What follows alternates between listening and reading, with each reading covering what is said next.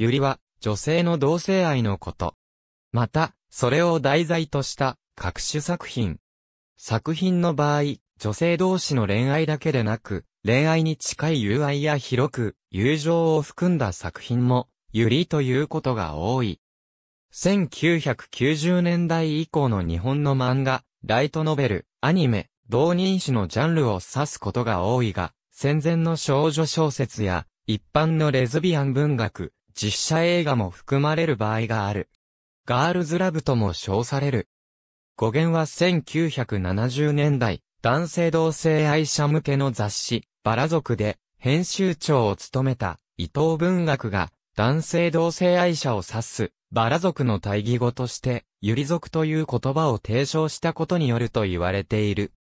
同誌には、女性読者の投稿コーナー、ゆり族の部屋が設けられた。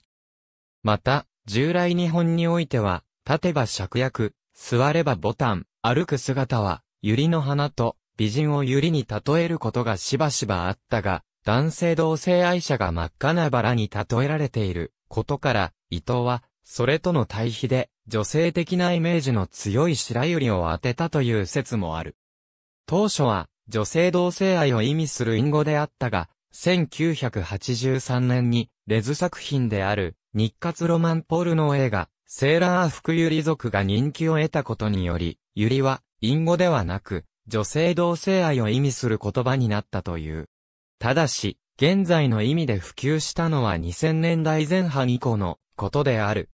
マリア様が見てるブーム、ユリブームがありゆりという言葉が使われるようになった。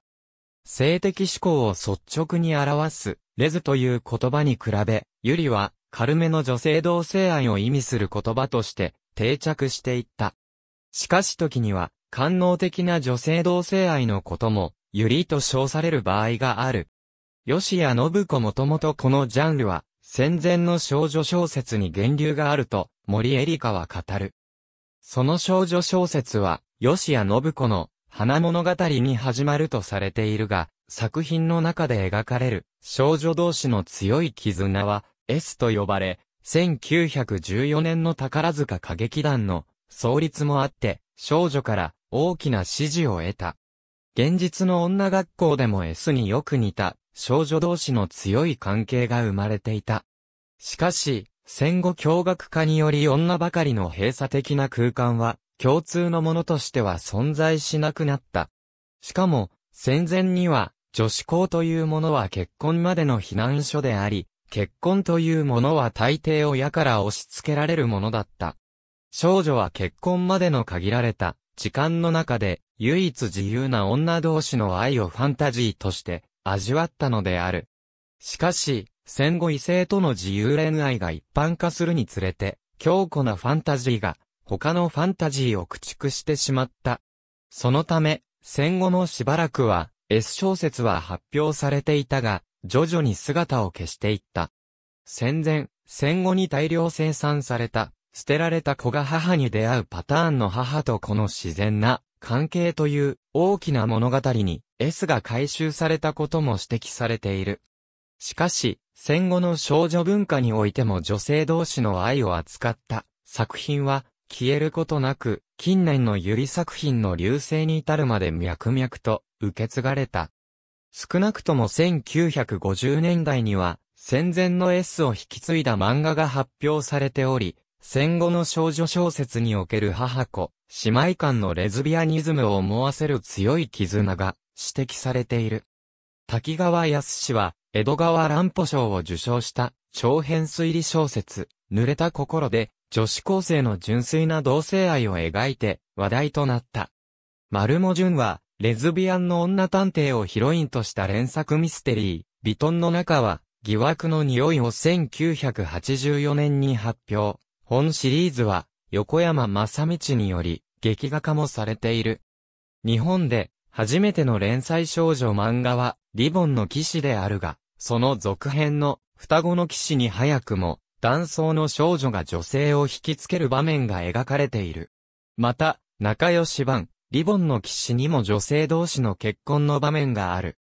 1970年前後には、渡辺雅子、ガラスの城や八代雅子、シークレットラブで、女性同性への片思いが描かれたりもしたが、しかし、少女漫画で女性同士の恋愛が描かれた最も初期で有名な作品が山岸良子の白い部屋の二人である。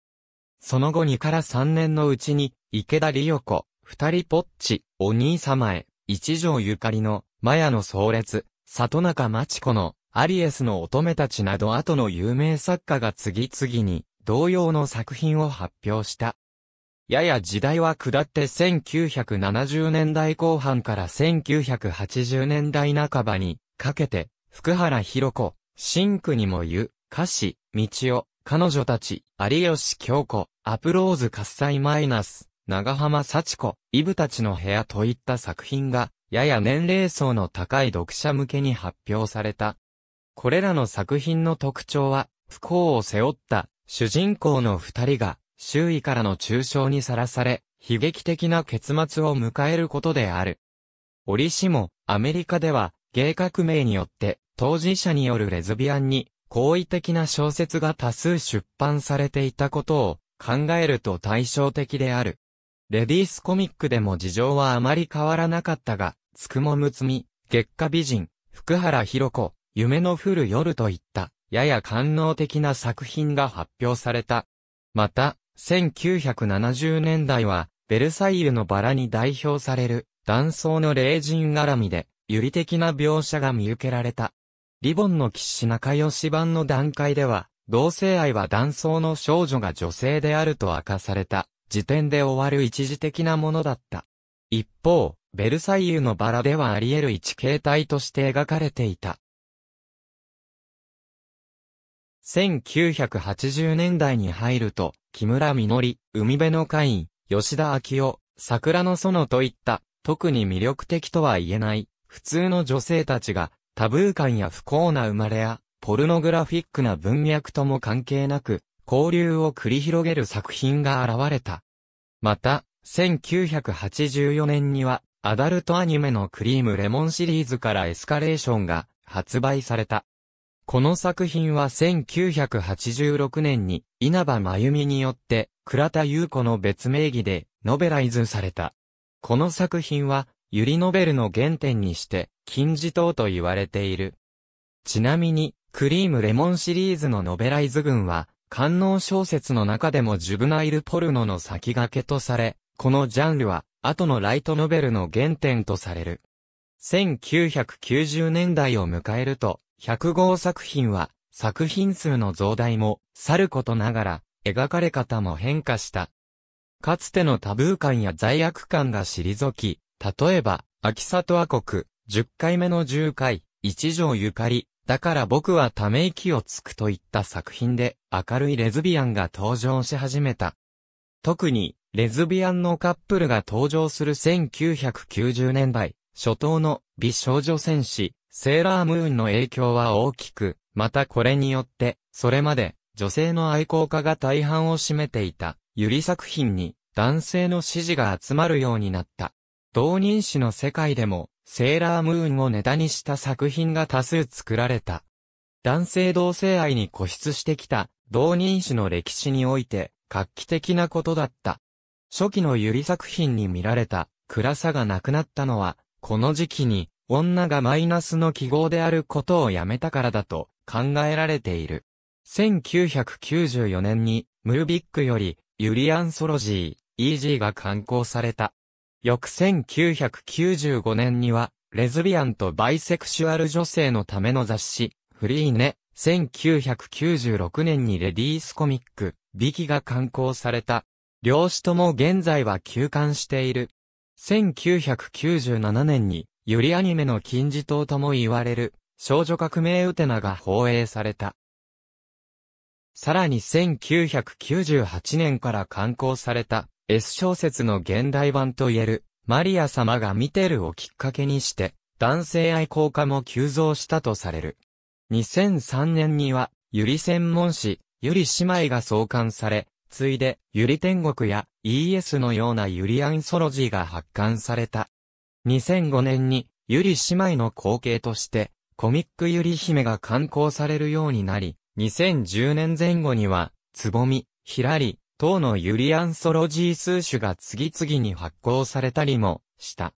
こうして100号市場は日本に定着し、女子児童が主な読者層である、リボン、仲良しといった少女漫画雑誌においても、ブルーフレンドや野原の森の乙女たちのようなユリ作品が掲載されることもあった。ただし、ユリの市場規模は2010年に至っても、ヤオイ、BL 市場の10分の1に止まっていると言われている。一方、日本映画界では、少女同士のプラトニックな関係や、女性同士のポルノグラフィックな関係が描かれてきたが、このうち特に前者が、ユリ映画と呼ばれる場合がある。桜の園、ラバーズキスなどが代表であるが、大人のレズビアンが共感できる作品ではなかった。テレビドラマでもプラトニックな関係も含めユリ関係を扱った作品があり、ミステリードラマ、古畑任三郎や相棒でも何回か取り上げられている。ユリブームは海外にも及んでいる。2003年には北米で100号作品を扱う初めての出版社アルク出版が誕生した。同年には100号作品のイベントヨーロコンが開催される。現在は日曜前の作家によるアンソロジー、有利物語や日英バイリンガルの漫画、理科と漢字も発行されている。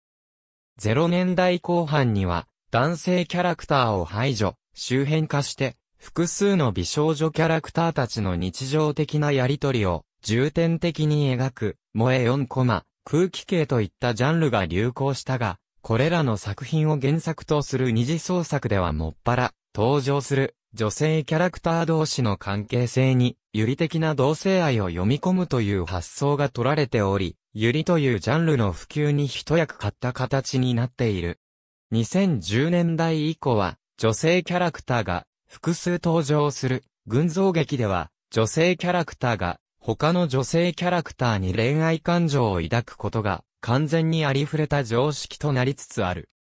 社会学者の熊田和夫は、八百ボーイズラブと呼ばれる男性同性愛を扱った作品を好む女性は、自身の女性性との葛藤ゆえにそういった作品を愛好しているのだという分析をもとに、それと同様のことが、ゆり物を好む男性にも言えるのではないか。すなわち彼らは、自身の男性性との葛藤を抱え込んでしまっているが、故に、男性という記号からの逃避場所として、ゆり物を愛好しているのではないかと推測している。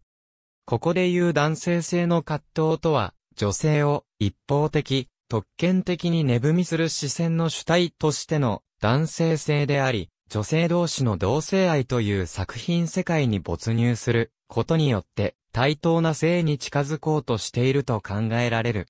また、ゆりを愛好する男性はしばしば作中人物に同一化する気持ちで作品を鑑賞していることから、作品外部から作品内部の女性キャラクターに対して一方的に値踏みする視線を送っているに過ぎないわけではないという。